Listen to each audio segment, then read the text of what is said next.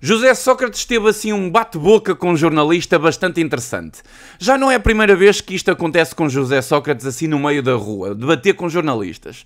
Eu nunca percebi muito bem esta relação de José Sócrates com jornalistas, mas a coisa ultimamente tem ficado bastante azeda. Ontem, como vocês sabem, vamos falar nisso nos próximos tempos, José Sócrates vai ser julgado por crimes de corrupção e mais umas coisitas. E então o jornalismo para fazer esta cobertura foi o dia inteiro para a frente da casa de José Sócrates. O dito cujo passou-se dos carretos e foi lá mandar umas bocas e fazer umas declarações. Ora, vamos ver. Aqui embaixo para vos fazer uma breve declaração, se não se importam. Uh, Dizem-me que estiveram uh, toda esta tarde a filmar a minha casa e a fazer considerações sobre a minha vida privada, o que diz muito do jornalismo português uh, nestes tempos. Eu aqui tenho de interromper e por muito me custa tenho de concordar com José Sócrates.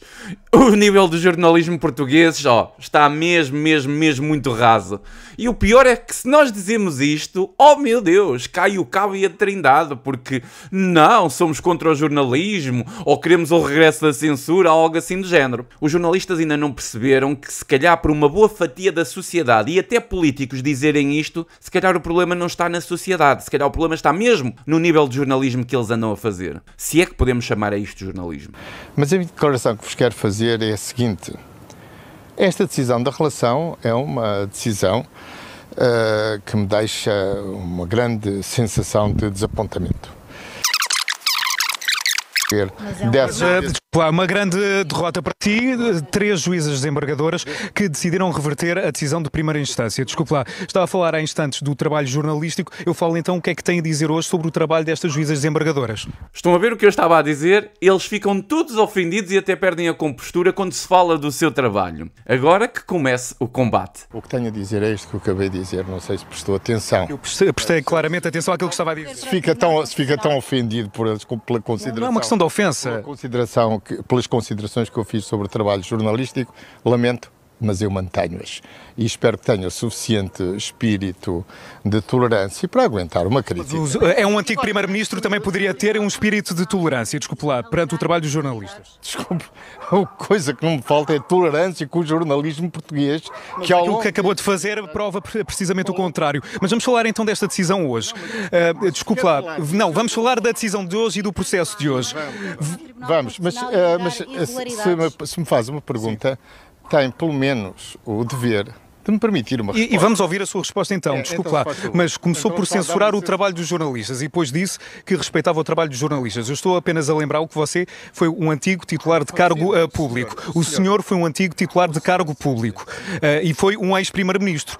E eu dizia-lhe que também uh, deveria ter essa consideração. Se quer falar para as outras televisões, eu deixo aqui falar. Não, não, não é esse o meu trabalho, eu estou a fazer a pergunta. O senhor ainda não me deixou responder. Se não se importa, eu vou responder.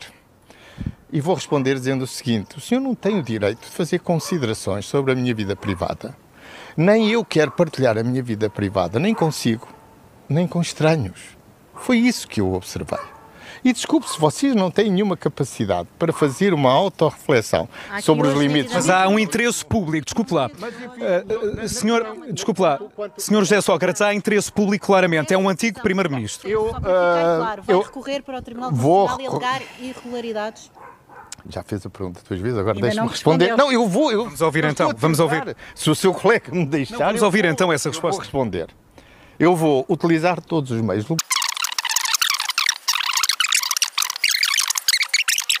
Para a justiça, sinal de que a justiça poderá estar a funcionar? É uma derrota para mim, não, não é uma, um sinal que a justiça está a funcionar. Mas se quer fazer um comício em favor da justiça, faça não, favor. Não, não, não é de todos. Estou-lhe a, estou a perguntar apenas isso. Estou a perguntar-lhe isso. Não, não está à minha disposição. Sim. Estou apenas a fazer-lhe uma pergunta. Não, não está a fazer uma pergunta. Isso não era uma pergunta. Você queria fazer uma afirmação.